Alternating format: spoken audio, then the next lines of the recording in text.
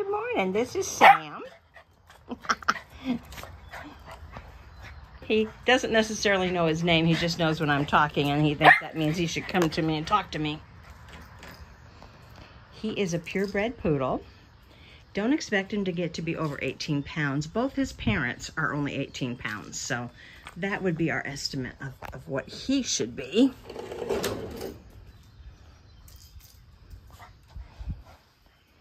Beautiful dark red color. Curly poodle coat. Now, if you're not too crazy about the poodle look, you do not have to cut him like a poodle. He can be cut like the Cavapoo, leaving a little bit more on his face and his ears, and just taking his body fur down. We have one at home that's a Cavapoo that's a, a poo-poo. He's three-quarter poodle. And he has Bo's, Bo, my boy Bo, he has the same curly coat.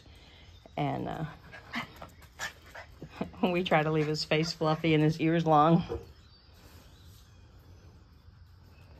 This little guy is very sturdy, very happy, good personality. Oh, I know, huh?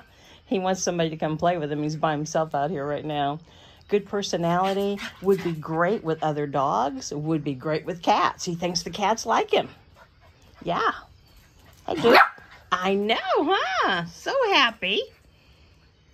Just wait till I bring Ford out here. Then you'll really be happy boy. Yeah. But uh, poodles are very smart. He's had all of his puppy shots.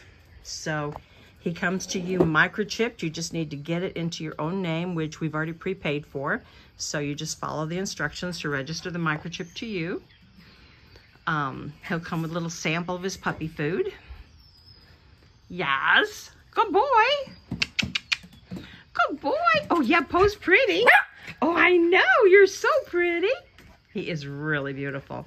We spent a lot, of, a lot of money getting this line of dark red poodles. And now you get to benefit because he is only $500. Because above all, we want him just to have a happy home. He could be used in a breeding program. We did not register the litter, so they would be unregistered poodles.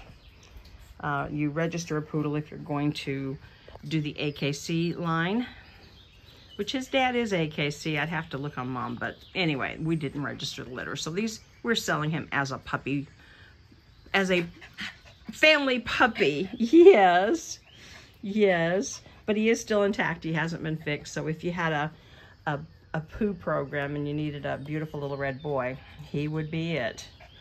Anywho, we would only sell him to a kennel that we approved of, of course, because we want all of our babies to be treated as if they're family members. Yes, yes. He doesn't know his name. You can change it. Hey, I can't get you if you're under the chair.